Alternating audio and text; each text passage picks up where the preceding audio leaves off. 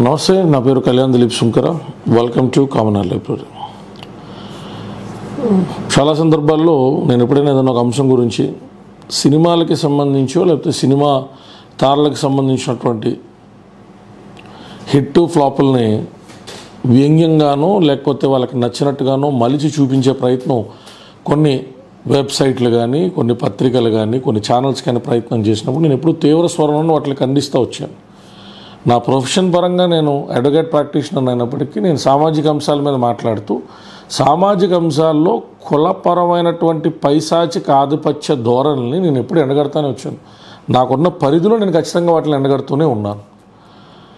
College రోజుల నుంచి కూడా నాకు చాలా విషయాలు అర్థం అయ్యి అర్థం అన్నట్టుగా ఉన్నట్లు నేను కొంత ఎక్స్పోజర్ పెరిగిన తర్వాత కాంటాక్ట్స్ వచ్చిన తర్వాత వాటి వెనకాతలు ఉన్నటువంటి ఉద్దేశాలని పరిశీలించడం ఆయా సదరు వ్యక్తుల యొక్క ఉన్మాదాలకి కారణాలు తెలుసుకోవడం మొదలుపెట్టాను రెండు వేల తొమ్మిది అట్లా నా బీటెక్ కంప్లీట్ అయిపోయిన తర్వాత మెకానికల్లో నేను బయటకు వచ్చి కొంత ఎక్స్పోజర్ పెరిగిన తర్వాత అన్న ఇదిలా ఎందుకు రాస్తారన్నా? ఇలా ఇలా ఎందుకు చేస్తూ ఉంటారన్నా? అది బాగున్న సినిమా కదన్నా? కానీ ఎందుకు ఇట్లా చెప్తూ ఉంటారన్నా? అన్నప్పుడు క్రమేపీ నాకు అర్థమైనటువంటి విషయాల భాండాగారం నుంచి క్లుప్తంగా ఒక లైన్లో చెప్పాలి అంటే అదొక రకమైనటువంటి కుల ఉన్మాద జాడ్యం.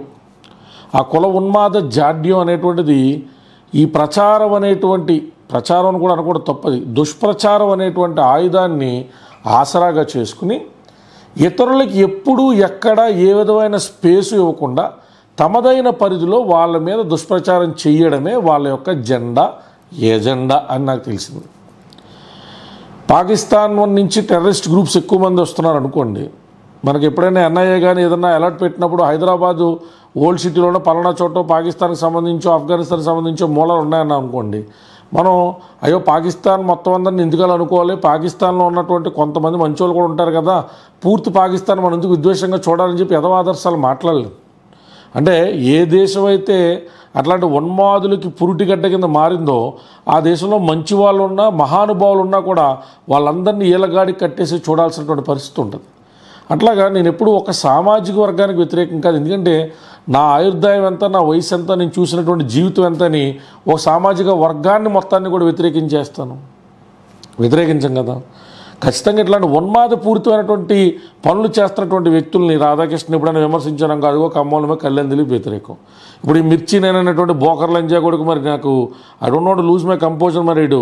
కమ సామాజిక వర్గానికి సంబంధించిన వ్యక్తి అని చెప్పి నాకైతే రిపోర్ట్స్ వస్తున్నా లోకేష్ గారి ఏం తాగుతూ ఉంటాడు నాకు తెలియదు కానీ ఈడ రాతలు చూసినప్పుడల్లా మాత్రం ఈ బడా చున్నా కొడుకులంతా అమెరికాలో ఎక్కడెక్కడ మూల దాక్కుని దిక్కుమాల డొమైన్లన్నీ కూడా అమెరికన్ బేస్ మీద బుక్ చేసుకుని ఇలాంటి పోరంబోక రాతలు రాస్తూ ఉంటారు. మరి వీళ్ళు నా కొడుకులు ఏమైనా అన్నాం అనుకో అదిగో కళ్యాణ్ అంటే మీరు దాడి చేసేది కులాధారితమైనప్పుడు లుచ్చేదవల్లారా అవతలోడు ప్రతిఘటిస్తేనో దాన్ని దాన్ని వ్యతిరేకిస్తేనో దాన్ని అడ్డుకుంటేనో డిఫెండ్ చేస్తానో కుల ఫీలింగ్ ఎలాగైపోతుంది?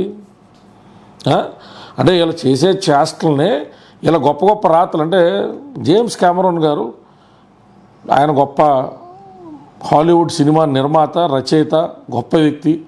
అట్లాంటి వ్యక్తి టైటానిక్ సినిమా కానీ ఎన్నో గొప్ప సినిమాల రూపకల్పన కారణమైనటువంటి వ్యక్తి జేమ్స్ కెమెరన్ లాంటి వ్యక్తిని మనం చూస్తే అలాంటి అలాంటి అలాంటి వ్యక్తి మాట్లాడుతూ ఆర్ఆర్ఆర్కి సంబంధించి విభిన్నమైన వేదికల్లో రాజమౌళి గారి కృషి విజయేంద్ర ప్రసాద్ గారి యొక్క కష్టం మళ్ళీ వాళ్ళు కూడా కమసామాజ వర్గం సంబంధించిన వ్యక్తులైనప్పటికీ నేను అందుకే అంటాను కదా ఇప్పుడు పాలు నీళ్ళని వేరు చేసి చూపించడం చాలా కష్టంగా ఉంటుంది.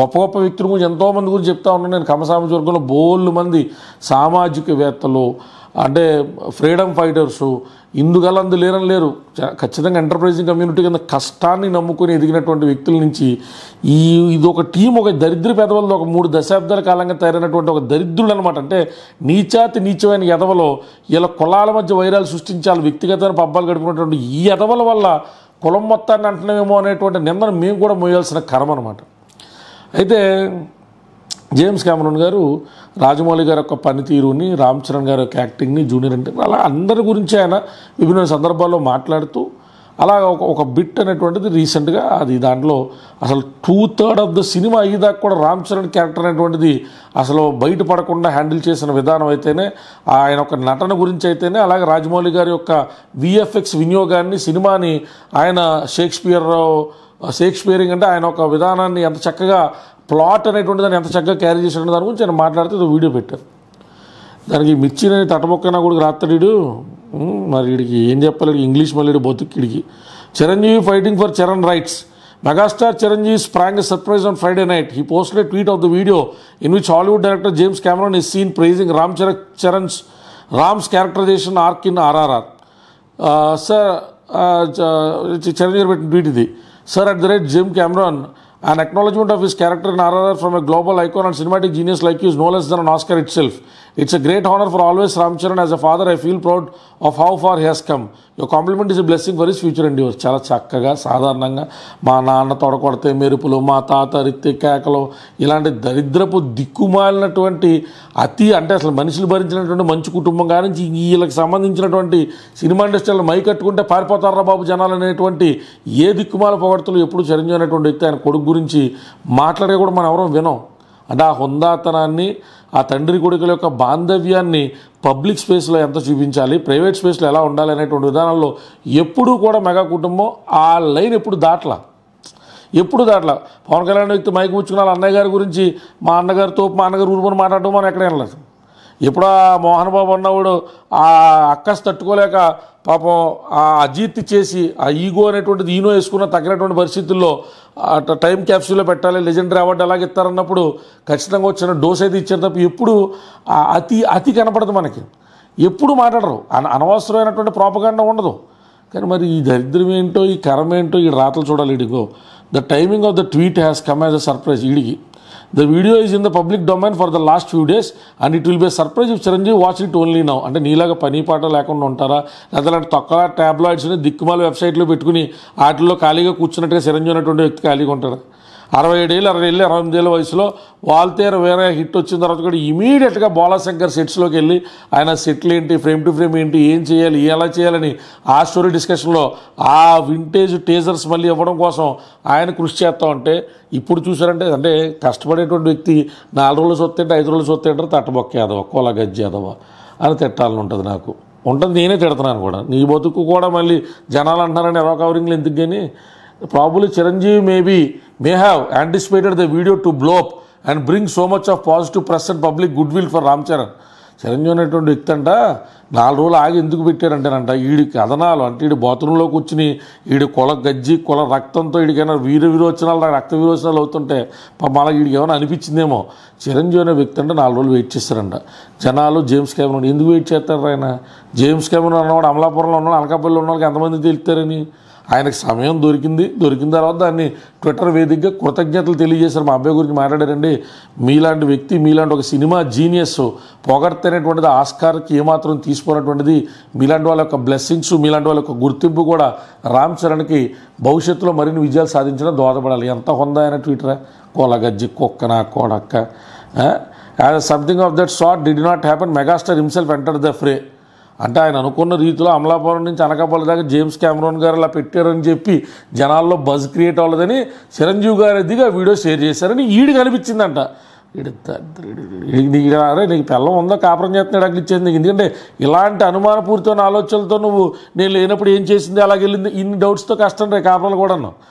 నువ్వు చేసేది సచ్చేదే కానీ good will for as something of that sort did not happen megastar himself అంటే with Chiranjeevi street media can not ignore it now ఏంటి మన గజ్జి మీడియా చిరంజీవి గారు పెట్టినందు మాత్రమే మన గజ్జి మీడియా జేమ్స్ కెమెరూన్ అంటే ఎవరో ఆయన అసలు పొగడుతూనేటువంటి దానికి ఎలాగా చిరంజీవి అనే వ్యక్తి అని జీనియస్ అని ఎందుకంటే ఇన్ని కథనాలు వేస్తారా? బీఆర్ఎస్ వెయ్యి కోట్లు ఇచ్చిందా? ఇంకోళ్ళు ఎవరు ఏదో ఇచ్చారా? వీటితోనే జీవితం సరిపోతుంది కదా మంది. Mean while there is a discontentment on social media for Chiranjeevi not mentioning anything about Rajamouli in the tweet even though the master director is in the reason and the brain behind the characterisation లాస్ట్లో కోసం వరకు ఇచ్చిన కొడక. అంటేనంట ఇప్పుడు James Cameroon అనే వ్యక్తికి కృతజ్ఞతలు తెలియజేస్తూ మా అబ్బాయికి మీరు ఆశీర్వదించారని చెప్పడంలో కూడా ఇప్పుడు రామ్ చరణ్ అనేటువంటి వ్యక్తిని కెమెరాతో పాటు ఈయన ఆ రాజమౌళి గారిను రాజమౌళి గారి తండ్రి గారిని అక్కడ పనిచేస్తున్న కెమెరామెన్లో డైరెక్టర్లో వీళ్ళందరినీ కూడా లిస్ట్ చేసి పొగడలేదని చెప్పి కూడా జనాలు అనుకుంటున్నారు పొగడతంట బోకేదవా బోకు మాటలు ఇడిని అంటే ఈ రాతలో ఒకటి రెండు కాదు. ఈ రాతలు ఏ ఏ స్థాయిలో ఉంటాయంటే నందమూరి తారకరత్న బాబు చనిపోయారు కదా. చనిపోతే కూడా ఆయన లాస్ట్ విష్ నెరవేరలేదంటే. ఏంట్రా అంటే ఈ రాత్రీడు his last wish which became his last wish was to make a mark in AP politics he was meeting TDP leaders cadre and workers and was even thinking of understanding in MLA TDP Tarakaratna అంటే గుడివాడలో అంటే అమర్నాథ్ అమర్నాథ్ అంటే ఆ యదవత్తుడు అంటే చిచి. గుడివాడలో అంటే కొడాల నాని మీద పోటీ చేద్దామని చెప్పి నారా లోకేష్ని చంద్రబాబు నాయుడు అడిగితే వాళ్ళు గ్రీన్ సిగ్నల్ ఇచ్చారంట. ఆయన పోటీ చేసి అక్కడ ఏదన్నా కూడా అది టీడీపీ కోట గట్ట కంచు కోటను ఢీకూడదాం అనుకున్నాడంట. అంటే ఒకళ్ళ చావు నుంచి కూడా పార్టీ పాలిటిక్స్ ఏం మైలేజ్ తీసుకురాగలుగుతాం? ఏ ఈడు దరిద్రం ఇది. ఇంక ఈడు రాత్రి ఇంకా మంచి మంచి రాత్రులు ఉంటాయి ఈడి. ఒకటి ఒకటి రెండు కాదు ఈడి. వీడి చాలా గొప్ప రాత్రులు ఉంటాయి ఈడి. ఈడు ఈడు రాత్రి చిరంజీవి గారి గురించి ఈడు ఇంకో చెప్తాను చూడండి. ఇంక మీకు పెడతాను ఇక్కడ స్క్రీన్ షాట్ నేను. కుదిరితే చూడండి. మిర్చి నైన్కి సంబంధించి వీడి వెబ్సైట్ ఎక్కడ తగిలింది? ఇంకో దిక్మాల వెబ్సైట్ ఈడిని. వీడు why are leaders reluctant to join Janasena. Kanna Lakshminarayana టీడీపీలోకి వెళ్తే why are leaders reluctant to join Janasena. అది TDP there are reports that Kanna Lakshminarayana also make decision due to the lack of clarity in the TDP and Janasena alliance and the seat sharing joining Janasena without in alliance makes no sense for Kanna అది ఈడు బతుకులు చెడ. ఈడు రాస్తాడు చిరంజీవి గారు ఈడు చిరంజీవి గారు గురించి రాసిన మెహర్ రమేష్ ఇది ఇది ఇది Meher Ramesh gets it right which others couldn't ఈ ఇందులో ఈ ఆర్టికల్ ఆడు ఏం తెలిసి వీడు ఈయన వాల్తేరు వేరే Chiranjeevi the name of vintage Chiru was seen doing buffoonery and cringe acting in gaudy clothes and embarrassing outfits ఒరే ఎంబ్రాసింగ్ అవుట్ఫిట్స్ అంటే చెప్పండి నేను. బాలకృష్ణతో అతని పేరండి క్రిష్ ఏదో సినిమా తీసాడు రా దాంట్లో మొత్తం జాకెట్ వేసుకున్నట్టు బట్టలే ఉంటాయి. ఏదో పౌరాణికమైనటువంటి సినిమా సినిమా పేరు కూడా మా మదర్ ప్రామిసరీ నాకు ఇంకా గుర్తు కూడా రావట్లేదు నోట్లో ఆడుతుంది బయట రావట్లేదు నేను. బాలకృష్ణది సినిమా ఉంటుంది. దాంట్లో అవుట్ఫిట్స్ ఇక్కడ కుదిరితే పెడతాను ఎడిటింగ్లో నేను. అసలు అసలు ఆ సినిమా ఏంటి అందులో వేసిన అవుట్ఫిట్స్ ఏంటి ఆటలు అంటారా? గౌ- గౌడీ క్లాత్స్ అని చెప్పి గౌడి గదిలని క్లాస్ అని చెప్పి దాన్ని అంటారా క్రింజ్ యాక్టింగ్ అని? దాన్ని అంటారా బఫునైజింగ్ అని చెప్పి అంటే బాడీ ఆ రోజు ఆయన ఏం చూపెడుతున్నాడో అక్కడ ఏం చెప్పాడో ఆయన ఫిట్నెస్కి సంబంధించి ఏది చేయకూడదని క్రిస్టియన్కి ఏం చేయలేక లొంగిపోయాడో అలాంటి బఫూనైజింగ్ క్లాస్ గురించి వందల కొద్ది రాయొచ్చు. అంటే ఈ అదవది విషపూరితమైనటువంటి కులరాతలే అనమాట ఈడు ఏబిఎం రాధాకృష్ణతో పోటీ పడుతుంటాడు అనుకుంటాడు రాధాకృష్ణ గురించి కూడా రాధాకృష్ణ నిజమైన ఎనిమియా చంద్రబాబు నాయుడికి నిజో ఆర్టికల్ రాసాడు. ఒక్క వైగుడు ఇంకో మా ఊరి గురించి మా రాఖీ గురించి రాశాడు. ఏమని రాత్రాడు times he inflicts damage like worst enemy Chandra and knowing the unknowingly is one he came up with a new theory in his weekend government to RK Kesar apparently wants Pawan Kalyan on his side for Kapu community votes and that would also help Jagan by splitting opposition. It will go through Kesar offered to Janasena election expense 1000 crore. Masala when we say 1000 crore election expenses RK called it 1000 crore package. He had endorsed Jagan party's allegations of Pawan taking back and not damage is done. Pawan fans who oppose TDP due to film and community rivalry are having a field day alleging that it is behind this allegation to tarnish Pawan Kalyan's image However, should drop these alliance proposal and Rankalan in favor of having alliance. Chandrana defame Power Kalan. We have seen our location invoke Power Kalan couple of Padayatra switches. ఈ నా కొడుకులు రాతలే ఇలా బతుకులేలాగా. ఒక disco అంటాడు పక్క నుంచి disco అంటాడు. అసలు చంద్రబాబు నాయుడికే పొత్తు పెట్టుకోవాలని ఉన్నప్పుడు పవన్ కళ్యాణ్ ఇమేజ్ ఎందుకు డ్యామేజ్ చేస్తారని చెప్పి ఈడు ఇంకొక దిక్కుమాల రాతలు. ఒకడేమో ఒరే నువ్వు వెళ్ళి ఎవరి మీద కొట్టేస్తున్నట్టుగా చేతి పైకెత్తి అంటాడు ఈడేమో వాళ్ళు దండం పెట్టడానికి చేతులు పైకెత్తారని చెప్పి ఇంకోటి కవరింగ్ ఎత్తాడు ఒరే అసలు మీ జర్మన్ థీరీ అంటావా? లేకపోతే మీదేదో అది పనికిమాల థీరీ అంటావా? ఎవరికి అర్థం కాదనుకుంటారు మీ ప్యాటర్న్ అనేటువంటిది నాకు అర్థం కాదు. ఎవరికి అర్థం కాదనుకుంటారు మీ ప్యాటర్ను? చంద్రబాబు నాయుడు లోకేష్ ఏమో పాదయాత్రలోనే పవన్ కళ్యాణ్ గారిని పొగుడుతూ ఉంటారు. రాధాకృష్ణ అన్నవాడేమో వెయ్యి కోట్లు ప్యాకేజీ బీఆర్ఎస్ దగ్గర రాస్తాడు ఇలాంటి ఎద వచ్చేమో అరే అరే, ఆ రకంగా కాదు. అలా రాద్దాం ఎలా చేసాడు ఏంటని చెప్పి మాడతారు. ఎవరికి చెప్తారు మీరు? ఎవరినైనా పుక్కానికి ఆడ మానని ఎదగనిస్తారా మీరా? మీ టీం వర్క్ ఏంటో నేను చెప్పనా నేను? పొరపాటున మీ భుజం మీద చెయ్యేస్తానే కింద నుంచి మీరు డొక్కలు నొక్కేస్తుంటారు కదరా? పైకి జనాలు కనబడింది మాత్రం రైట్ హ్యాండ్తో భుజం మీద చెయ్యేస్తామని కింద మాత్రం డొక్కలో జేబులో చేయటేదో పొట్టని ఊరుతున్నట్టుగా డొక్కల్లో మొత్తం పేగులన్నీ కూడా బయటికి లాగేసే బ్యాచ్ కదా? ఎవడో తెలీదు. ఎవడో తెలియదు మీ యొక్క దిక్కుమాలిన రాజకీయ రాజకీయం కూడా కాదు అతి నీచమైనటువంటి రాజకీయ విధానం ఎవడో తెలీదు. అందుకని మిర్చి లాంటి ఒక ఇమేజ్ని మనం కనుక టార్నిష్ చేయకపోతే ఇలాంటి వ్యక్తిని ఎక్స్పోజ్ చేయకపోతే ఇలాంటి రాత్రులు జనం నిజం అనుకునేటువంటి ప్రమాదం ఉంటుంది. చిరంజీవి అనేటువంటి వ్యక్తి పుత్రోత్సాహాన్ని కూడా పాపిష్టి కళ్ళతో పాపిష్టి విధానాల్లో చూపించడం అనేటువంటిది దౌర్భాగ్యం. అతి హేయం అతి హీనం. ఆయన బంగారపు బాతుగుడ్లు పెట్టేటువంటి బాతు కింద ఉన్నంతకాలం మేము వర్గాలకు అతీతంగా చిరంజీవి అనేటువంటి వ్యక్తిని అరే కేసీ వచ్చారంటే ఇలా కేసీ వచ్చారంటే ఆర్థిక లాభం లేకపోతేనో రూపాయి లాభం లేకపోతే ఇదే కేసీ కొనుదల చిరంజీవి అనేటువంటి వ్యక్తిని అంత నెత్తి మీద మోస్తున్నట్టు కనీసం కడుపులో అంత బాధ ఉన్న అంత విషం ఉన్న అయ్యి బాబోయ్ ఎన్టీ రామారావు టైంలో అంత ఎంత మీడియా సోషల్ మీడియా ఎక్స్పోజర్ లేదు కాబట్టి మనం ఏదో లాక్కుంటే నిలబెట్టుకుంటూ వచ్చేసాం. బాలకృష్ణ కూడా ఆన్పార్ ఏదో లాక్కుంటూ వచ్చేసాం. చిరంజీవి అనే వ్యక్తి నిజంగా కష్టపడే వ్యక్తి నిజంగా డ్యాన్స్ చేసే వ్యక్తి నిజంగా అన్ని వర్గాలను ఆకట్టుకునే వ్యక్తి ఎలాగెలాగని మింగలేక కక్కలేక ఆ వ్యక్తి యొక్క క్యాలిబర్ని మనం కాదన్నా జనం వద్దనరే అనేటువంటి బాధతో లాక్కుండొచ్చిన మీ విధానాలు ఎవరికి తెలియదు అంటారు చెప్పండి. ఎవరికి తెలియదు అంటారు ఆ అక్కసు ఆ ద్వేషం ఏమన్నా ఆయన ఎదుగుదలను ఆపినాయా? ఆ అక్కసు ఆ ద్వేషం ఏదన్నా ఎంబాడిమెంట్ ఆఫ్ డిసిప్లిన్ కింద ఎదిగినటువంటి రామ్ చరణ్ అనేటువంటి వ్యక్తిని ఆయన సక్సెస్ని ఆపుతాయా? ఆపగలవా? వాళ్ళ దగ్గర వేరే రెండు వందల యాభై కోట్ల పైచులు కలెక్ట్ చేస్తే దాని గురించి అక్కడ బజ్ ఇవ్వలేనటువంటి వ్యక్తులు. అంటే ఇలాంటి సిస్టమ్స్ని మనం ఒక సినిమాకి కన్ఫైన్ చేసి ఇది సినిమా రైవల్ అనుకోకూడదు. ఇది సమాజానికి పట్టిన చేయడం ఎందుకంటే ఇలాంటి దరిద్రులు రేపొద్దున్న కొత్తగా ఇండస్ట్రీలోకి వచ్చి కథం తొక్కాలనుకునేటువంటి ఏ ఇతర వర్గాలకు సంబంధించిన వ్యక్తులైనా కూడా ఇలాంటి హెరాస్మెంట్కి గురి చేస్తారు. ఇలాంటి బాధలకే గురి చేస్తారు. ఖచ్చితంగా ఇది ఒక సామాజిక రుగ్మత కింద మారిపోయింది అనేటువంటిది సినిమా ఇంట్రెస్ట్ ఉన్నా లేకపోయినా ప్రతి సామాన్యుడు కూడా ఇట్లాంటి వాటిని ఎండగట్టకపోతే ఇట్లాంటి ఒక తప్పుడు సామాజిక నిర్మాణంలోకి వచ్చినటువంటి రుగ్మతులకి ఎవరైనా రేపొద్దున మన ఇంటి నుంచి ఆయా ఇండస్ట్రీలకు వెళ్ళాలనుకోవచ్చు. ఎవరైనా రేపొద్దున మన ఇంటి నుంచి ఏదైనా క్రీడా రంగంలో ఎదగాలనుకోవచ్చు. ఎవరైనా రేపొద్దున మన ఇంటి నుంచి కులాలకు అతీతంగా ప్రతిభని కనబరిచేటువంటి పరిస్థితుల్లో ఇలా కులాలు ఇలాంటి కుల జాగిలాలే ఆ కాలుకున్న పిక్కని పట్టుకు లాగేసి కిందకి ఖచ్చితంగా ఈ రుగ్మతులు మన దృష్టికి వచ్చినప్పుడు ఇది మనకెందుకు లేని వదిలేయకుండా వాటిని ఎండగట్టాలా? వాటిని పదే పదే సోషల్ మీడియాలో మిర్చి అనేటువంటిది ఇది కుల జాగిలం ఇడు కుల కుక్కీడు ఈ కుల కుక్క అనేటువంటి వాడు ఇలా చేస్తూ ఉంటాడు. ఈడు బతికే కుల రాతలో నారా లోకేష్ గారిది ఏం పోతే తాగుతూ ఉంటాడు. మంచినీళ్ళు లెక్కరు సంథింగ్ ఎక్స్వైజెడ్లో ఇలాంటి పోరం బోకోలను ఎక్స్పైజ్ చేయాలి? చేయకపోతే ఇలా జార్గన్స్ కింద తయారయ్యి ప్రజల యొక్క ఆలోచన సరళని ప్రతి ఒక్క అన్ని పనులు మానేసి ప్రతిదాన్ని సూక్ష్మంలో సూక్ష్మం సూక్ష్మార్థం కోసం ఎతకలేరు కదా. ఎక్కడో చోట దేని మీద ఒక న్యూస్ కోసం దేనికోసం డిపెండ్ అవుతారు కదా. అప్పుడు ఇలాంటి తప్పుడు ఎదవలు ఇలా పెంచి పోషించే యూట్యూబర్స్ ఇలాంటి జాగిలాలన్నీ కూడా ఇలా గడ్డివామకాడ కుక్కలన్నీ కూడా మొడగడమో కరవడమో మొదలు పెడతాయి. అందుకని దుష్ప్రచారం అనేటువంటి ఆయుధాలని సోషల్ మీడియా వేదికగా తిప్పి కొట్టాలా? చిరంజీవి గారి పుత్రోత్సాహంలో ఎవ్వరూ ఎక్కడ తప్పట్లేరు.